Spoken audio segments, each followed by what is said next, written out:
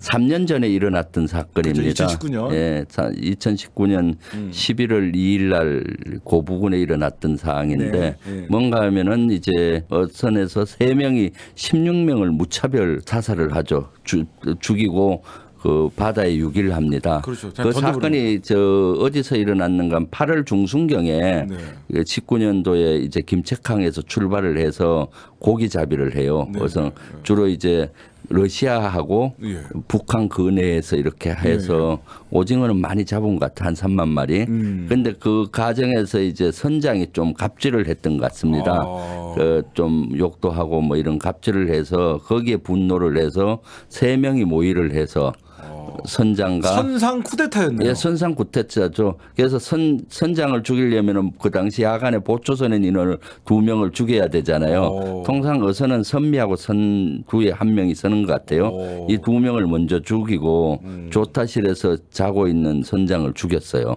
그리고 시체를 그 바다에 유기해 버리고 그렇죠. 그래서 세 명이 그 불안한 거예요. 나머지 선원들을 어떻게 할 것인가. 어. 옛 선원들이 일어나면은 세 명을 죽인지 알면 어떻게 하겠어요. 이제 먼저 세 명을 죽였고 예, 선미와 자, 기들이. 오히려 당할 수가 있고 예. 또 나머지 선원들이 가만히 안 둘 거 아니에요. 네. 그리고 또 자기들의 그런 행위가 노출이 될 것 같으니까 나머지 선원을 다 죽이자 모의를 해요. 그래서 오. 두 명씩 뭐 근무서라고 밤에 예, 예. 야 지금 너 근무 시간이야 깨워서 두 명 나오면은 선미하고 에서 죽이고 죽일 때도 망치하고 도끼로 뒤- 그 머리를 가격해서 죽이고 바다에 유기하고 예. 그래서 16명을 죽여버린 겁니다. 와 그런 엽기적인 진짜 살인마죠. 어, 완전 연쇄살인 완전 예, 예. 그래서 세 명이 고민이 되잖아요. 앞으로 어떻게 살지. 그렇죠. 배를 조종할 예, 어디로 잘 도망을 가야 될지 고민하다가 그래도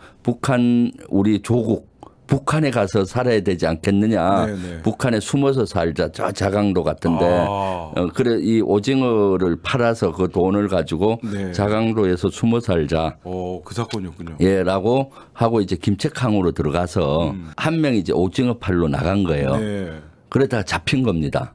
오. 그래서 잡히니까 어떡합니까? 도망을 가야 되잖아요, 두 명이. 잡혔다는 걸 우리도 왜 그런가 하면 방송에도 나오고 뭐 이런 여러 루트도 알 수 있잖아요. 예. 잡히게 되니까 두 명이 빨리 그 어선을 가지고 도망을 동해로 나온 겁니다. 아. 그리고 그때 나와서도 우리 한 명이 대한민국 북한에서 잡히니까 예. 나머지 두 명이 예, 예. 그 소식을 듣고 어선을 예. 갖고 동해로 나온 거군요. 동해로 나와서 오. 그 우리 원래 우리 대한민국에 기, 기순하려는 이는 의사는 없었어요. 예, 예. 우리나라든 어디 대상국이든 네. 밀항을 해서 어. 그, 거기서 숨어 살자 예, 예. 하고 이제 남쪽으로 내려왔는 거예요. 그러니까 북한에서는 어떻게 하겠습니까? 그, 그 어선하고 그 두 명을 잡기 위해서 예. 군사 작전도 펼치고 여러 가지가 일어날 거 아니에요. 아, 북한에서. 예, 왜 잡으려고 방송도 하고 뭐 여러 가지 했을 거 아닙니까? 예, 예. 그런 것들이 우리 정보 당국의 정보망에 다 들린 거예요. 다, 아, 다, 있었구나. 다, 다, 다 파악이 된 겁니다. 그래서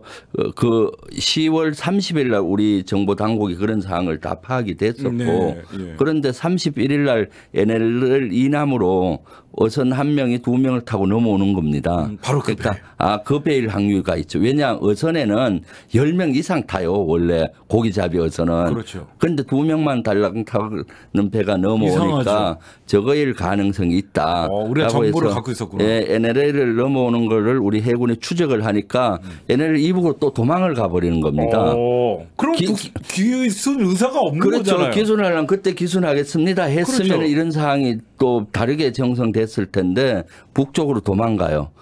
또 그 다음날 또 NLL로 넘어와서 우리가 잡으러 가니까 또 도망을 가는 겁니다.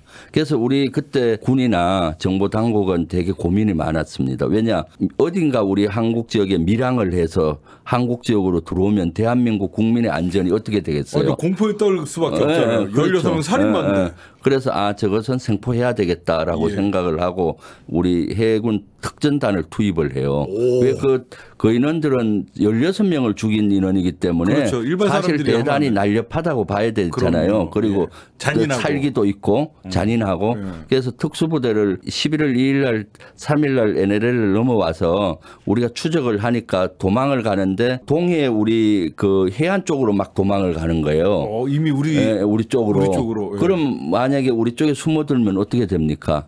그래서 경고 사격을 막 해도 도망을 가서 예. 특전 요원들이 그 투입이 돼서 생포를 겁니다. 와. 그 처음에 기순 의사가 전혀 없었던 그렇죠. 거죠. 그렇게 들어와서 이제 정부 합심 정보 조사를 해요. 음. 거기서는 국정원만 하는 게 아니라 국정원, 경찰, 군, 뭐 안, 안보 지원 사령부 이런 요원들이 같이 조사를 해요. 사실은 안보 지원 사령부가 옛날에 기무사. 기무사, 아. 예, 예, 그런 인원들이 같이 합심을 하거든요. 예, 그걸 예. 합동 신문이라 그래요. 아. 음. 예, 합동 신문을 하고 그 여러 가지 조사를 이제 국정원에서 더 세부적으로 해보니까 음. 엽기적 살인마가 맞는 겁니다. 그렇게 되니까 고민이 뭡니까? 이 살인마를 한국에서 받아준다면 탈북자로 받아준다면 어떻게 법정에 세워도 무죄가 될 확률이 있습니다. 왜냐하면 법정에 가서는 증인을 다르게 할 수가 있죠. 나 우는 그런 거 한 거 없다. 그럼 증인이 있습니까? 증거물이 없고. 있습니까? 예. 뭐가 있어요? 그러면 무죄로 풀려나거든요. 그럼 우리 세금으로 그 인원들이 줘야 22살, 되죠. 23살이에요. 어. 젊은 청년들이에요. 그럼 대학도 보내주고 그렇죠. 우리 세금으로 하고 또 그 인원이 뭔 짓을 할지 모르잖아요. 그렇죠. 그래서 고민하다가 이것은 탈북민으로 인정할 수가 없다. 음. 에, 그, 그 법 까지 다 검토했어요. 음. 탈북 주민법 구조에 보면은 이렇게 살인마들은 그 인정을 안 하는 법 예외 조항이 있거든요. 음. 네. 그래서 이제 북한으로 어, 보냈던 사건이고 그때 이제 국민의힘인가 그 당시 어, 바른 미래당 이런 데서는 다 잘했다고 했어요 처음에는. 그렇죠. 살인마를 왜 봤냐고. 예, 예. 그래 잘했다고 했는데 그 당시도 조금 지나면서 며칠 지나면서 그 정치 공세로 오기 시작하면서 약간 논란이 됐어요. 음. 그럼에도 불구하고 국방위와 외통위와 정보위가 열려서 충분히 논의가 됐고 아 그것은 그럴 수밖에 없었겠다라는 그 공감대가 그 당시 형성이 많이 됐던 사건인데 다시 들여다 보는 거죠. 그때 아마 바른 미래당 그 정보위 위원장 했던 이해운 전 네, 의원. 어 그분 동영상이 요새 많이 보여요. 예. 정보위가 열리고 난 다음에 그분이 이렇게 쭉 얘기하는데 이 얘기가 거의 일치하고 음. 또 본인도 이렇게 살인마 이런 사람은 한국에 있으면 안 된다. 그때 그런 얘기를 아주 진솔하게 하더라 아, 예, 예, 예. 해서 그걸 보면은 이제 우리 국민들께서 그때 상황을 정확하게 이해할 것 같아요. 근데 왜 통일부가 갑자기 윤석열 정부가 들어서고 나서 입장을 번복해요? 이것이야말로 정치 공세고 정치 보복으로 가는 길을 가고 있는 거죠.